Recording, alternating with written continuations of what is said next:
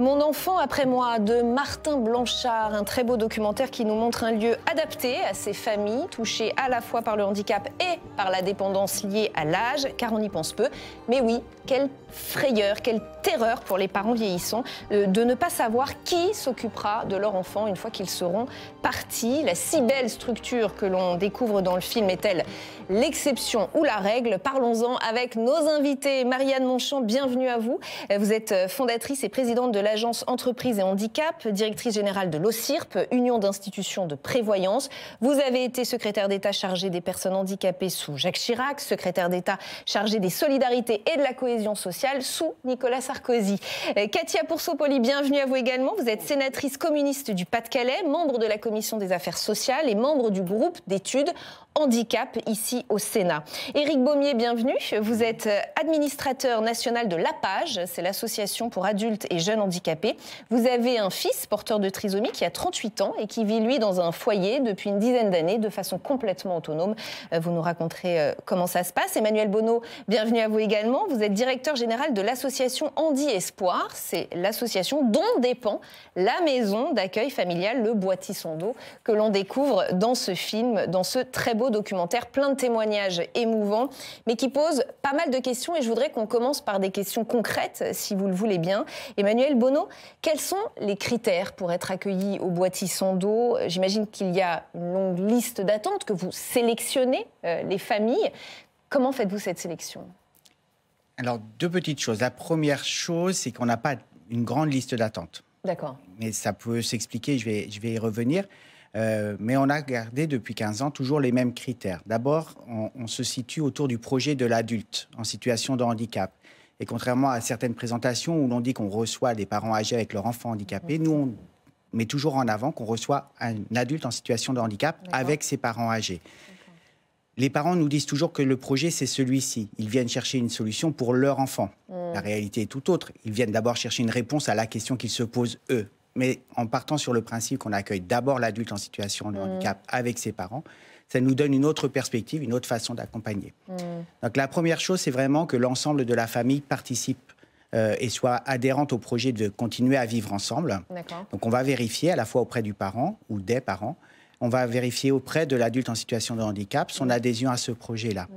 Et ensuite, on essaie de voir comment euh, on va pouvoir être euh, la bonne réponse à ce moment-là de leur histoire. C'est jamais une réponse définitive, elle est requestionnée tout le temps, donc mm. on, a, on rentre, mais on peut aussi sortir quand le projet n'est plus adapté. Et pardon pour la question que je vais vous poser, mais elle est importante. Combien ça coûte eh ben, D'intégrer un établissement comme celui-là, ça coûte pas, pas, plus cher que de rentrer dans n'importe quelle institution médico-sociale, puisque pour la partie personnes handicapées, on a un tarif, une tarification euh, établissement d'accueil médicalisé en tout ou partie, ex-foyer d'accueil médicalisé, avec euh, une participation de la personne handicapée proportionnelle à ses revenus. Et la différence entre le prix de revient et euh, la participation, c'est le conseil départemental qui, qui la couvre. Mhm. Et pour les parents, on est une résidence autonomie et euh, ce qui fait un peu la, la, spécificité. Donc là, c'est le prix d'un EHPAD, vous voulez dire Alors, c'est pas le prix d'un EHPAD, c'est le prix d'une résidence autonomie. Donc, on a un tarif, juste un tarif hébergement, on n'a pas de tarif euh, soins ou de tarif dépendance. D'accord. Et euh, oui, celui-ci est à la charge des parents. Donc il faut quand même avoir des revenus corrects, je veux dire, pour... et c'est pas une critique, hein, mais il faut des revenus corrects pour pouvoir intégrer cette maison quand même. Comme, pas plus cher que de rentrer dans n'importe quel établissement pour personnes âgées. Et on a aussi donc des places habilitées à l'aide sociale pour des familles qui, euh, qui n'auraient pas les moyens de payer leurs mmh. prestations. Mmh. Ce qu'il faut comprendre dès le départ et, ce qui rend notre établissement quasiment non duplicable, euh, c'est qu'on a un modèle économique euh, qui a été basé sur un, un, choix politique de créer cette maison. Et donc on a un tarif personnes âgées qui d'emblée a été fixé non pas en fonction des dépenses à mhm. couvrir, mais en fonction de la capacité des gens à payer. Et dans le cahier des charges, nous avions nous sommes donné cette obligation de pouvoir accueillir toutes les familles, même les plus modestes. Hmm, d'accord. Elle est importante quand même, hein, cette question de, financement. Et là, je me tourne vers vous tous. On ne sait pas trop comment ça fonctionne, mais c'est le département qui, peut euh, donner des aides, parce que c'est le département qui est en charge de cette question de l'accompagnement du handicap, et pas tellement l'État, hein, Marianne Monchamp? Dans notre pays, euh, effectivement, euh, le département a un rôle absolument majeur dans le financement des politiques de l'autonomie. Euh, la Caisse nationale de solidarité pour l'autonomie le sait bien, qui, au-delà des financements dont elle dispose et qui sont conséquents, mais est juste émergente, en fait, dans sa capacité à prendre en charge ce besoin de financement global. Et, le département est la cheville ouvrière à, à mains égards sur le plan des financements, mais pas que. Euh, c'est au fond euh, la collectivité territoriale de la proximité euh, qui effectivement est sans doute le mieux placé pour appréhender les besoins du territoire, la situation des populations qui y vivent mhm. et qui est donc un interlocuteur naturel. C'est pour ça que la Caisse nationale de solidarité pour l'autonomie, qui est une caisse de sécurité sociale comme les autres, n'est pas tout à fait une caisse de sécurité sociale comme les autres parce que sa gouvernance euh, eh bien, comporte euh, mm. la représentation euh, des départements de France. Cette maille territoriale, elle est décisive. Financement, mais pas que financement. Réponse aux besoins. Et le terme qui était, qui était utilisé à l'instant par Emmanuel, c'est un terme très important. Il s'agit de construire des réponses. Et on ne construit pas des réponses comme on construit des solutions. Mhm. Ça n'est pas qu'un jeu de langage. Donc, c'est, je veux dire, ça fonctionne bien tel que ça fonctionne aujourd'hui, euh, Katia Poursopoli. C'est bien que ce soit le département, que ce soit à cette échelle que cette question euh, soit gérée, ou il faudrait que l'État euh, y apporte aussi sa petite touche, d'après vous?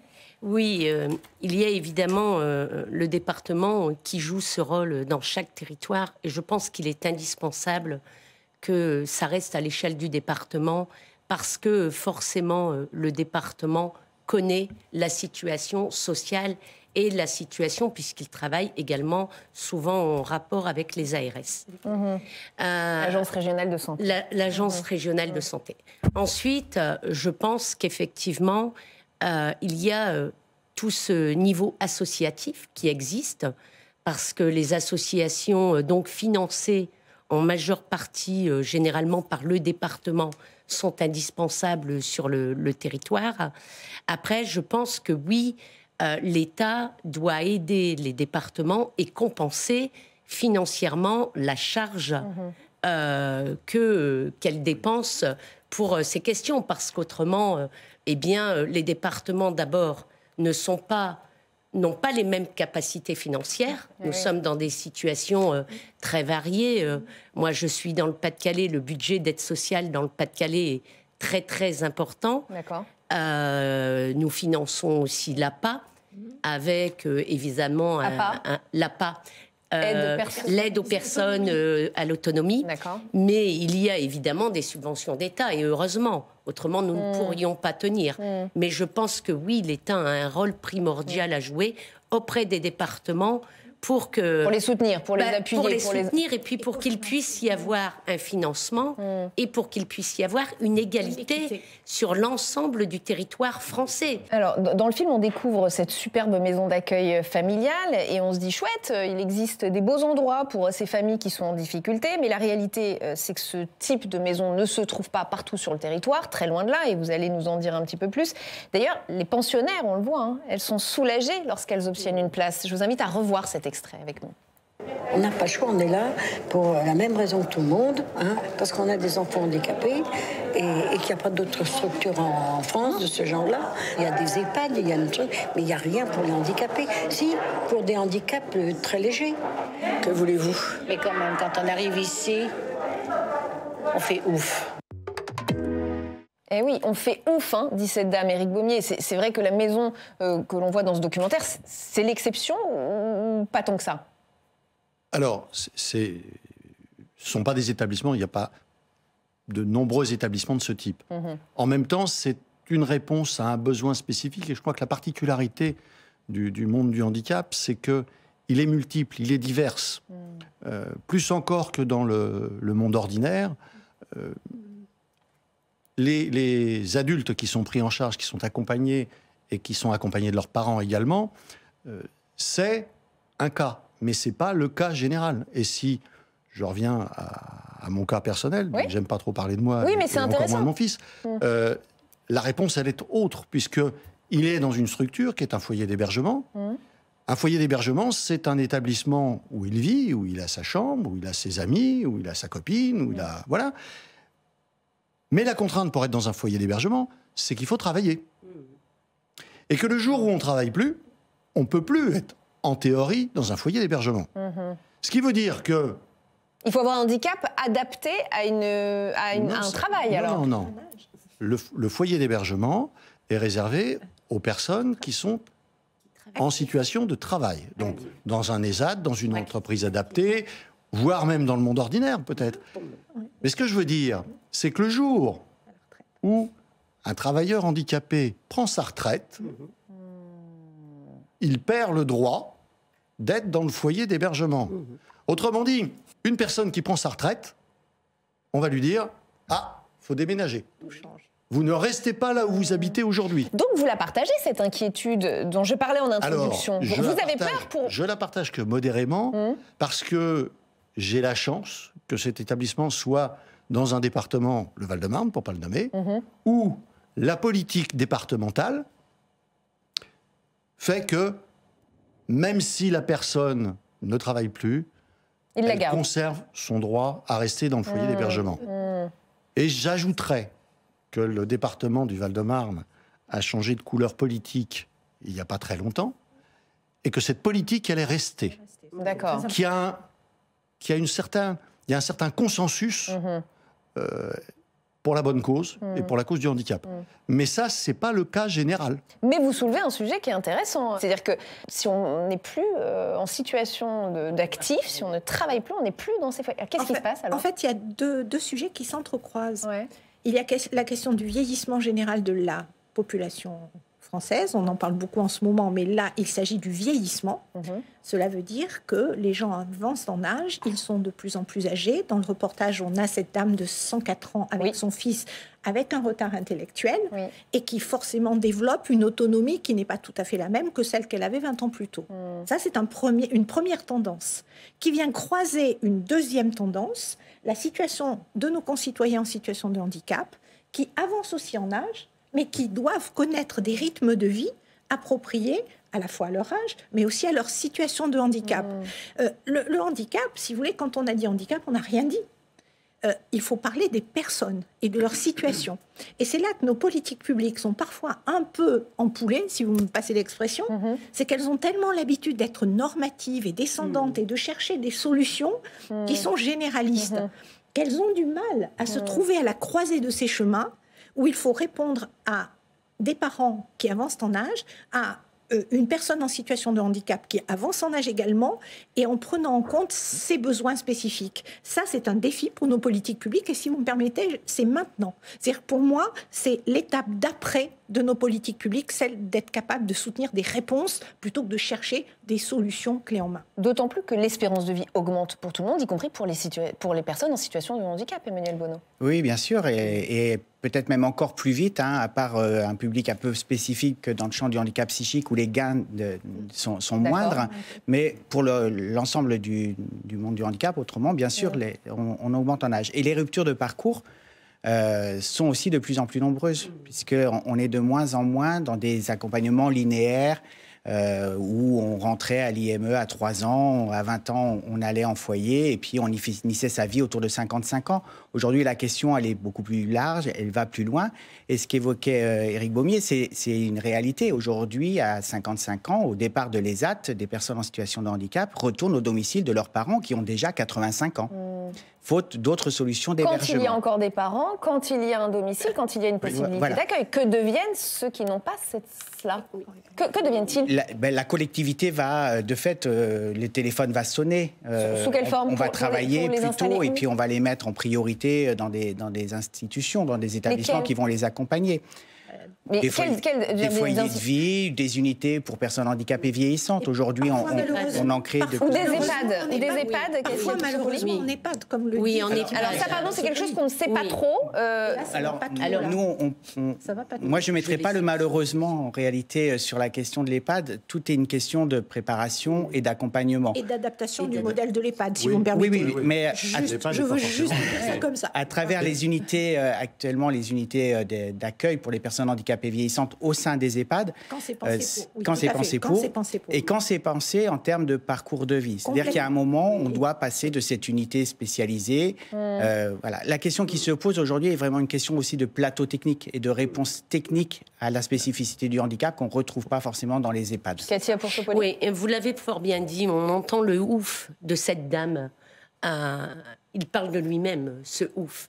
Et euh, j'entendais euh, dans ce film la maman de Marie-Madeleine qui disait Que va devenir mon enfant demain quand je ne serai plus là? Ou je me pose la question tous les soirs en me demandant si demain je serai encore là.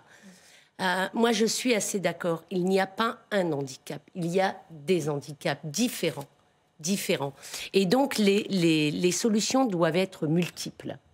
Euh, je le pense. Je pense qu'il faut euh, tout de même revisiter les, les, politiques publiques parce que forcément, nous rencontrons autour de nous des gens chaque jour, je peux vous dire, dans les permanences qui nous appellent en disant mon enfant va avoir 20 ans, demain il n'a pas de solution. Mhm. Euh, mon enfant est en situation euh, de handicap, je vieillis, je n'arrive plus à m'en sortir et je ne sais pas comment je dois faire. On a une idée de combien de personnes ça concerne ou pas? On a, une idée de ça? Ça, c'est un vrai problème. On n'a pas de données. Alors, euh, pourquoi? Le problème, c'est qu'on a eu des politiques publiques au fur et à mesure. On a eu des, des, des...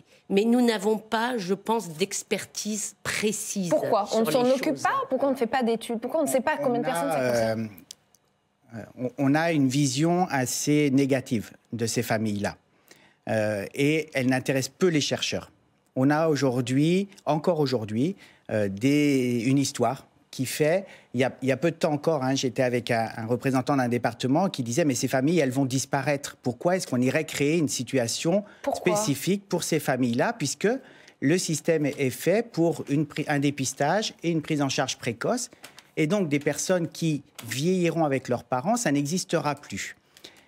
Or, c'est tout le contraire. C'est ce que vous entendez. Or, c'est tout le contraire qui se passe. On en a de plus en plus qui vieillissent avec leurs parents parce que les parcours sont de plus en plus euh, il y a de plus, dans plus de ruptures. Moi, je vis sur un département qui est très attractif pour les personnes âgées qui viennent passer leur retraite en Vendée et qui n'ont qu'une hâte, c'est euh, de faire revenir leur enfant dans une institution sur le département. Mais il n'y a pas de place. Donc ils les reprennent à leur domicile et dix ans plus tard, ils reviennent vers nous en nous disant qu'est-ce qu'on fait de ça? Éric Gommier la, problématique, en fait, c'est une question de place, effectivement, mhm, parce que les places pour les adultes vieillissants, elles ne sont pas aussi nombreuses que ça. Et puis, euh, et puis, la difficulté quand en plus il y a un changement de département. Euh, là, je crois qu'effectivement, c'est compliqué pour des parents euh, de trouver des places.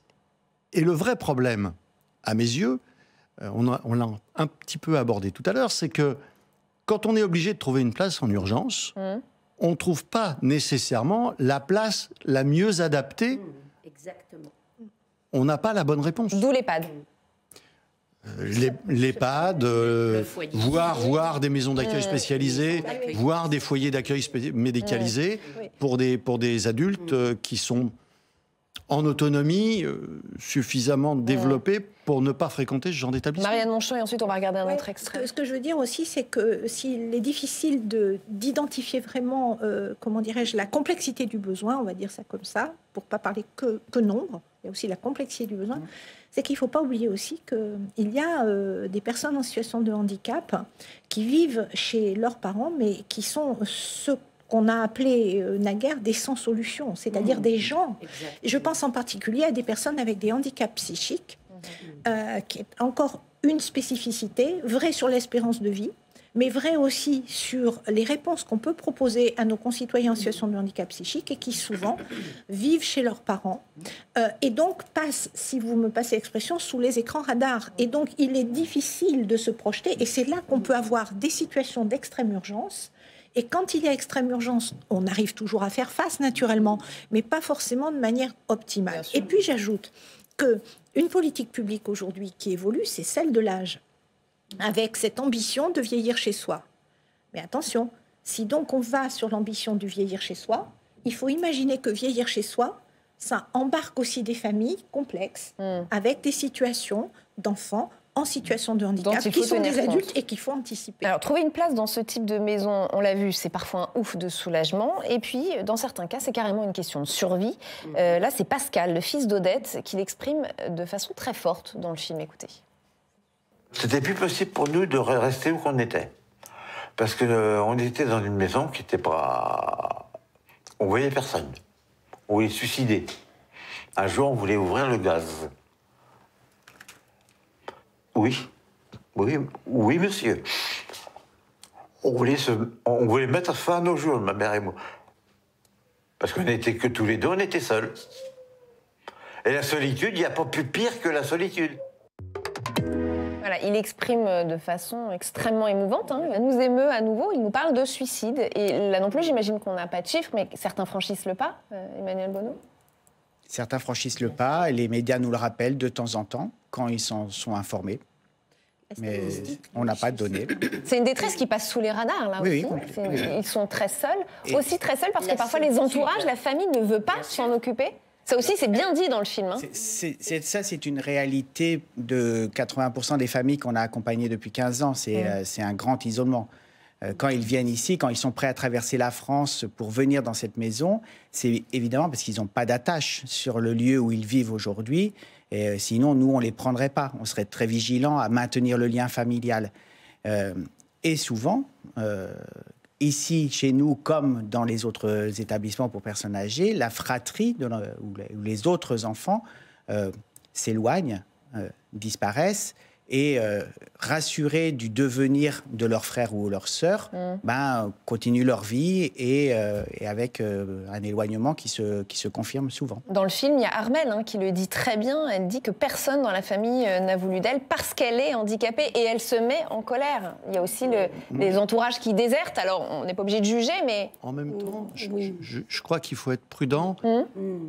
C'est pas à la fratrie euh, de prendre totalement en charge l'adulte en situation de handicap à la mort de leurs parents. Je, crois qu'il appartient aux parents aussi de, prévoir ce genre de choses. Mm. Euh, à telle enseigne que euh, quand notre fils est rentré en, foyer d'hébergement, son frère et sa sœur nous ont dit merci. Mm. Parce que c'était quoi? C'était pas on va pas s'en occuper. C'est pas la question du tout. Mais c'est le fait que s'il nous arrivait quelque chose à, mon épouse et à moi, il n'y avait pas à traiter l'urgence du placement de notre fils. La solution, elle était mise en place, elle était pérenne, et, et donc le frère et la sœur pouvaient Vivre leur vie. Alors, vivre leur vie et avoir une relation de fratrie normale avec leurs frères. C'est très on rencontre, Pardonnez-moi. Oh non, mais on, rencontre euh, beaucoup de, de, pères et de mères qui, euh, qui ont un enfant qui est en situation de handicap et qui ne souhaitent pas non plus, comme vous venez de l'exprimer, que ce soit les frères et sœurs qui prennent en charge, eh bien, quand on disparaît, euh, l'enfant, enfin le frère ou la sœur euh, en situation euh, de handicap. Et je pense que dans la tête des parents, c'est légitime. Enfin, les, les, autres enfants ont aussi une vie, ils ont aussi une vie à se construire. C'est bien que vous le disiez, effectivement, parce qu'il doit y avoir de la culpabilité. Ils ont aussi une vie à se construire et, et je pense que euh, voilà, beaucoup de parents réfléchissent à ça aussi pour mm. que la charge ne revienne pas après aux frères ou aux sœurs. Euh, quand il y en a. Voilà, quand il y en a, euh, c'est pour ça, si vous me, permettez, c'est que, vous voyez, dans la recherche de ces réponses, il faut que les réponses soient compatibles avec la préservation des liens affectifs de la famille élargie. Et très souvent, et c'est intéressant de regarder le parallélisme, vous savez, quand vous, quand vous regardez ce qui se passe dans les établissements d'hébergement pour personnes âgées dépendantes, c'est curieux de voir qu'il y a assez peu de familles. Alors d'abord parce que les gens sont plus âgés, mais aussi parce que la, réponse qui est apportée là, quelque part, elle, fait peur aussi. Et parfois, il arrive qu'elle contribue à l'éloignement de la famille. C'est pour ça que dans nos réflexions et dans les réflexions des politiques publiques, ce sont des réponses qui doivent à la fois euh, faire face aux situations, mais aussi euh, ne pas être en quelque sorte euh, une espèce de, comment dirais-je, d'effet de, parfois un peu, un peu repoussoir, vous voyez, pour, la famille qui serait soit euh, un peu culpabilisée, soit au contraire aurait une charge mentale trop, trop forte. Et je voulais ajouter que c'est intéressant la question des suicides, parce que quand vous regardez les statistiques des suicides en France, le gros du chiffre des suicides, c'est après 65 ans. Et il y a une corrélation entre vieillissement et suicide. Et dans le témoignage tellement émouvant que nous avons entendu euh, dans, ce documentaire, euh, eh bien, je pense qu'on est aussi dans un des éléments qui explique ces résultats très, très lourds. Euh, dans, le film, Emmanuel Bonneau, vous allez pouvoir peut-être m'apporter une réponse. On voit que ce sont essentiellement des mères qui s'occupent de leurs enfants adultes handicapés. Moi, ça m'a beaucoup frappé. Alors, j'ai eu envie de regarder un petit peu les chiffres. Je me suis demandé pourquoi euh, je ne voyais que des femmes avec euh, cet enfant devenu adulte handicapé. J'ai trouvé les chiffres de la direction de la recherche des études de l'évaluation et des statistiques relativement récents, 2020, et j'ai trouvé ceci. 30% des ménages bénéficiaires de l'AEEH, allocation d'éducation de l'enfant handicapé, sont des familles monoparentales. Et écoutez bien, 9 fois sur 10, ce sont des mères avec leurs enfants. Est-ce que ça veut dire que le handicap repose essentiellement euh, sur les mamans lorsqu'il apparaît dans une famille et que euh, oui. le papa s'en va. Oui, c'est une évidence. C'est une réalité. oui, oui, bien sûr. Euh, et, de nombreux couples d'ailleurs ne, survivent pas à l'arrivée de, à l'annonce du handicap. Mais c'est la mère qui reste. Avec et c'est la mère qui reste. Oui. Une petite nuance sur, sur, euh, sur ce qu'on voit dans le film, puisqu'on touche une génération qui malgré tout, ne se séparait pas si facilement que ça autour du handicap et qui est donc ce qu'il faut comprendre, c'est que ce qui fait le moment où la vie à domicile n'est plus possible, mm. le veuvage est un élément déclencheur. Bien sûr. L'équilibre familial tombe au moment du veuvage. D'accord. Donc nous comme les hommes meurent plus tôt que les femmes, c'est souvent la C'est aussi pour ça que vous vous retrouvez avec des. Et euh, on a accueilli euh, au début, de, on avait des personnes qui venaient, qui étaient des militants, qui souhaitaient développer cette ce, ce, type d'accueil. On a accueilli plusieurs couples. On a eu deux monsieur, un qui est décédé au bout de 15 jours. Il nous a dit j'ai mis ma femme et mon fils en sécurité, maintenant je peux partir. Et le deuxième, il est parti en trois mois. Il était en sursis d'un cancer qui a été foudroyant à partir du moment où il nous a dit, j'ai mis ma femme et ma fille, sa femme qui était euh, très lourdement handicapée et sa fille qui est polyhandicapée, était dans l'établissement et lui s'est autorisé à partir. On a eu deux autres couples qui sont arrivés et qui sont repartis parce que c'était pas le bon moment dans leur histoire, il n'y avait pas d'urgence à rentrer ici. Ils ont voulu anticiper la question du devenir. Et ce qu'on a pu se dire, ils ont fait le sacrifice de leur vie conjugale, ils ont fait le sacrifice de leur vie parentale. Euh, ou euh, personnelle plutôt, voire professionnelle, pour être avec leur enfant en situation de handicap. Et on a très vite, on s'est dit, ça fonctionne pas. Mais les autres, euh, effectivement, celles qui ont vécu toute leur vie seules avec leur enfant, c'est une petite minorité des personnes qu'on accompagne. Euh, ce sont évidemment des situations qui nous poussent à la remise en question de nos modèles de société. Sont-ils suffisamment inclusifs? Je me suis posé cette question notamment quand j'ai entendu euh, la maman d'Armel nous dire ceci. Écoutez. Ça fait 56 ans qu'elle vit avec moi. D'un seul coup, on lui dit Oui, mais maintenant, tu, tu, tu, tu vas prendre tes décisions toute seule. Ça, elle ne comprend pas. Elle ne comprend pas. Marianne Monchamp, pourquoi pendant 56 ans, on n'a pas appris, quand je dis on, c'est les parents, la société, à Armel à ou aider sa maman à apprendre, à Armel à, prendre des décisions elle-même Est-ce que ça pose question sur la façon dont nous rendons ou nous ne rendons pas autonomes les personnes handicapées dans, notre pays? C'est effectivement tout un projet de société. On le retrouve euh, sur l'ensemble des sujets sociaux. Euh, c'est quoi, c'est quoi le combat, si je puis dire? Euh, aider, euh, bien sûr, euh, c'est notre modèle social, il est là pour ça, mais notre ambition collective, quelle est-elle? Moi, je crois, mais c'est une longue histoire d'engagement politique, que c'est l'affirmation de la citoyenneté pleine et entière de nos concitoyens, quelle que soit leur spécificité. Alors effectivement, comment ça s'exprime la citoyenneté quand on est en situation de handicap, avec un retard intellectuel ou des troubles psychiques, où on est privé de sa liberté du fait des pathologies psychiatriques? Et c'est là qu'effectivement, il me semble que nos politiques publiques peuvent contribuer euh, à inciter véritablement à cette, euh, comment dirais-je, à cette nouvelle maturité, vous voyez, de, nos, de nos réponses, pour accompagner, mais alors là, à chaque personne euh, un besoin spécifique, ce qu'on appelle le pouvoir d'agir. Alors c'est un grand mot, il faut être là-dessus à la fois très humble et très ambitieux. Mmh. Mais je crois que l'affirmation sans cesse que notre modèle social pour l'autonomie, c'est celui qui affirme la citoyenneté pleine et entière de nos concitoyens, quelle que soit leur spécificité. Ça, si je puis dire, c'est la base, mhm. c'est le socle. Et là, il faut que nous retravaillons. Vous voyez, mhm. il n'y a pas de pensée magique. Hein. Ça se passe pas dans un shaker où on met les gens ensemble, on touille et puis après, ça fait de mhm. la société. C'est un peu plus compliqué que ça. Et c'est surtout, ça appelle une dimension terriblement personnalisée. Ça permettrait la prévention pour que ces mamans-là n'en arrivent pas à ce genre de situation. Si la société a aidé leur enfant en situation de handicap à mieux être intégré, à travailler, elles ne seraient pas dans cette détresse peut-être à se retrouver toutes seules une fois euh, à un âge où elles sont elles-mêmes dépendantes, à devoir trouver une solution d'urgence pour leur enfant. C'est un idéal, mais, mais Éric Baumier Il me semble qu'il faut faire attention parce que chaque cas est particulier.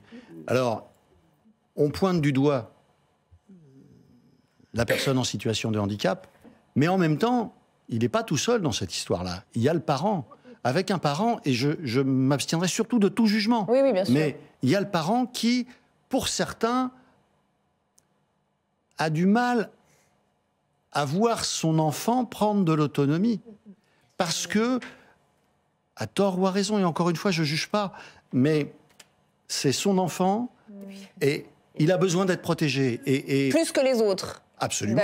Et, de façon ultra protecteur. Donc vous voulez dire qu'il entretient finalement, malgré lui, la non-autonomie de, son enfant De façon complètement inconsciente. Hmm. Et je vais vous donner un exemple pour illustrer mes propos. On a un foyer de vie dans lequel on a quelques places d'urgence. Et un jour, euh, une mère de 86 ans doit être hospitalisée d'urgence euh, pour un problème médical et sa fille qui avait une, entre 50 et 60, je ne sais pas exactement, qui avait toujours vécu avec sa mère, arrive dans notre foyer de vie. Et puis les choses se passent pas trop mal. La mère est soignée, tant mieux, la mère va mieux, elle sort de l'hôpital, et naturellement nous dit, ben, je vais pouvoir réaccueillir ma fille chez moi. Hmm.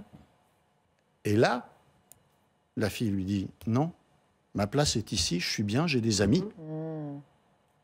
Elle avait pris son envol, quoi. Mmh. Elle avait pris son envol. Mmh. Mais cet envol, elle aurait probablement pu le prendre plus tôt. Et encore une fois, je jugerai surtout pas. Mais il y a un mécanisme psychologique qui se met en place qui potentiellement infantilise ces, adultes, Emmanuel Beau. C'est pas infantilisé, c'est de la protection. Emmanuel on, est vraiment sur, euh, oui, vraiment sur une question. Alors, c'est encore une fois très complexe. On, mm. a, on, a, cette forme de fragilité et de responsabilité face à la fragilité de son enfant quand on est une mère. Bien sûr. Euh, et que cette fragilité, elle soit réelle ou supposée. Et, euh, bien souvent, on est dans la supposition, puisque euh, la plupart de ces personnes n'ont pas été confrontées à, à, une forme de développement de leur capacité, de leur autonomie. Et c'est même d'ailleurs quelque chose qui, euh, qui est assez constant et qui d'ailleurs source progressivement d'un repli sur soi. Euh, plus on considère que son moins on, moins on met son enfant en situation de réussite, plus on considère qu'il est fragile. Et donc plus on va le protéger, donc moins on va le mettre en situation de réussir quelque chose. Donc ça, c'est quelque chose qu'on essaie, et, les familles qu'on accueille au Boîtier Santo sont assez caractéristiques de ces familles qui sont allées assez loin.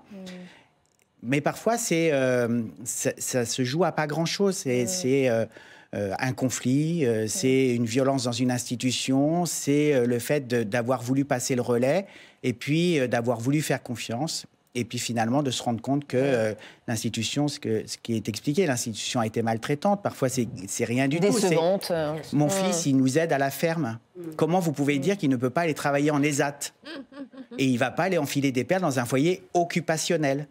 Donc, il revient à la ferme. À ses 20 ans, il quitte l'IME. Il y a eu tout un travail éducatif de fait qui s'arrête du jour au lendemain parce que l'enfant revient au domicile parental mm. et 35 ans plus tard, on accueille la famille.